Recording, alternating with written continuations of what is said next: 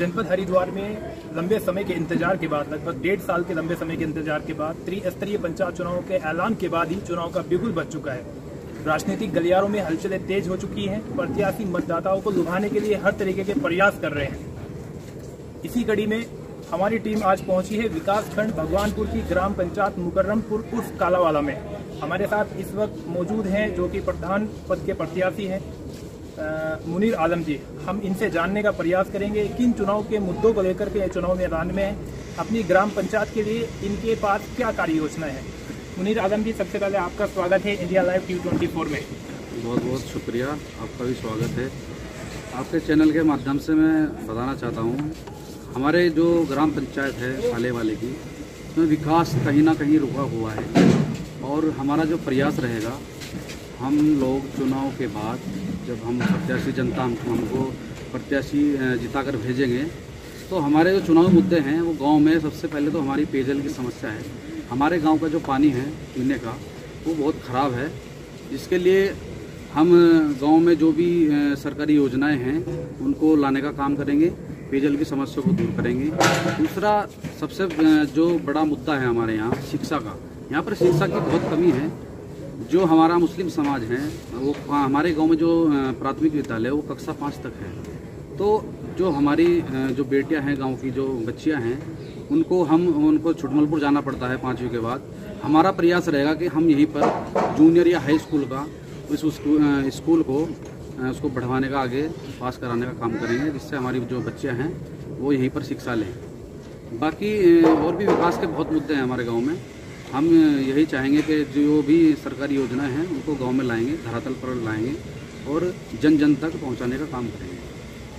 आप राजनीति में पिछले कुछ सालों से सक्रिय नज़र आ रहे हैं। अभी हाल ही में आपको आम आदमी पार्टी से हरिद्वार जिला का युवा जिलाध्यक्ष भी नामित किया गया था। फिर भी आप इतने नीचे स्तर के राजनीति में रुचि ले रहे हैं इसकी क्या वजह है? आपको तो किसी बड़े चुनाव की तैयारी करनी चाहिए। देखिए सबसे पहले आदमी जब राजनीति करता है तो छोटे से छोटे स्तर से ऊपर बढ़ता है। अगर हम बड़े स्तर पर लेके जाएँगे तो कभी राजनीति कामयाब नहीं होती। हम पहले छोटा चुनाव लड़ेंगे। उसके बाद में इंशाल्लाह जीत हुई जनता का प्यार मिला तो बड़ा भी चुनाव लड़ा जाएगा इंशाल्लाह कोई दिक्कत नहीं है। इस चुनाव में आप अपना प्रतिद्वंदी किसको मान के चल रहे हैं? प्रतिनिधित्व। अ, आपका विपक्षी कौन है जो फाइट में फ़िलहाल? तो फाइट में हमारे यहाँ पर चार प्रत्याशी हैं। और इंशाल्लाह जनता का प्यार हमें मिल रहा है बहुत अच्छा प्यार मिल रहा है लोगों का। फाइट में तो कोई नहीं है बाकी जनता का सहयोग है हमारे साथ हम चुनाव जीत रहे हैं इंशाल्लाह कितने मतदाताओं की ग्राम पंचायत है ये लगभग और आप कितने वोटों की उम्मीद करके लेके चल रहे हैं? हमारा जो गाँव है वो सिंगल मुकर्रमुर काले वाला एक ही गाँव है। पहले हमारा अमानतगढ़ था जुड़ा हुआ हमारी पंचायत में वो अब की बार अलग हो गया। अब की बार काले वाले की जो पंचायत है खाली एक एक ही प्रधान यहाँ का एक ही गाँव है और मतदाता हमारे यहाँ चौदह सौ तैतीस वोट हैं यहाँ पर। इसमें हमारे जो हरिजन भाई हैं उनके तीन सौ तीन वोट हैं। बाकी मुस्लिम गाड़ा हैं गाड़ा बिरादरी के लोग हैं। आपको कौन कौन सी बिरादरी का वोट मिलने जा रहा है? हमें सभी दोनों ही बिरादरी का वोट मिल रहा है। हमें पूर्ण सहयोग है हमारे साथ। जनता का प्यार सबका हमारे जैसा कि आप बता रहे हो यहाँ पर चार प्रत्याशी चुनावी मैदान में हैं। आप खुद को कौन से पायदान पे मान के चल रहे हो? फ़र्स्ट पे जो गाँव में जो फ़िलहाल जो माहौल है चुनावी माहौल जनता हमें जिताकर जिता रही है। वोट हमें सभी वर्ग का वोट मिल रहा है सभी का प्यार मिल रहा है। अगर गाँव की जनता आपको अपना प्रतिनिधि चुनती है आपको जिताकर भेजती है तो सबसे पहले कौन से कार्य की प्राथमिकता होगी? कौन सा कार्य ऐसा कराओगे तुम जो सबसे पहले आपका प्राथमिकता में शामिल होगा? सबसे पहले हम शिक्षा को बढ़ावा देंगे अपने गाँव में। कहीं ना कहीं शिक्षा की बहुत कमी है हमारे यहाँ। शिक्षा को बढ़ाने का काम करेंगे और जो पानी जो पेयजल की समस्या है इसको भी इस समस्या को सबसे पहले हम दूर करेंगे गाँव में। चाहे वो जल मिशन का जो आजकल जो योजना है सरकार की, जो पानी की टंकी हमारे स्वीकृत भी हुई है, उसको जल्द से जल्द काम कराने का, उसको चालू कराने का प्रयास किया जाएगा। अक्सर सरकार की निधि में सरकार की निधि से मोटा पैसा आता है, जो अक्सर भ्रष्टाचार की भेंट चढ़ जाता है।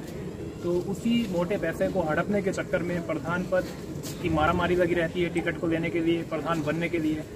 उस चीज़ को लेकर के आपका क्या नज़रिया है? देखो, सबसे पहले तो अब की बार जो सरकार ने जो किया है कि अब की बार जो पंचायत प्रधान बनेगा, वो शिक्षित बनेगा, ये सबसे सबसे बड़ा, बहुत अच्छा कदम है पंचायत के लिए। क्योंकि पिछले जो चुनाव जो भी रहे हों, उसमें शिक्षित कोई भी प्रधान, कोई मतलब कोई भी हर वर्ग का आदमी, कोई भी प्रधान नहीं लड़ता था, लेकिन अब की बार जो सरकार ने किया है, वो शिक्षित प्रधान बनेगा। उसका कहीं ना कहीं जनता को फ़ायदा मिलेगा शिक्षित बनने से। और दूसरी बात मैं आपको कहना चाहता हूँ जो प्रधान एक जो पद है ज़िम्मेदारी का पद है अगर अच्छा प्रधान चुना जाए जनता के बीच में तो कहीं ना कहीं निधि से अलग भी अगर प्रयास किया जाए तो बहुत सी ऐसी सारी योजनाएँ हैं जो अपने गाँव में योजनाओं को लाकर गाँव का बहुत अच्छे से योजनाओं का लाभ देने का काम कर, करेगा प्रधान। ठीक है नहीं? तो उसमें कहीं ना कहीं शिक्षा की कमी पिछली बार रही है। अब की बार ऐसा नहीं है। अब की बार जो प्रधान बनेगा वो शिक्षित बनेगा। सबसे ये बहुत अच्छा सरकार ने भी जो फैसला लिया अच्छा कदम है। इसलिए जनता को लाभ मिलेगा। अपने क्षेत्र की जनता के लिए आपको कोई संदेश? मैं अपने गाँव के समस्त ग्रामवासियों को यह अपील करना चाहता हूँ अपने मत का सही प्रयोग करें। जो शिक्षित है युवा है उसको चुने। अपने मत का गलत प्रयोग मत करें। आप भी जानते हैं कि शिक्षित ही आदमी जो प्रधान जिताकर जिसको आप भेजेंगे वही आदमी शिक्षित ही काम करेगा। मैं अपनी जनता से अपील करूँगा मेरा सहयोग करें। बहुत बहुत शुक्रिया।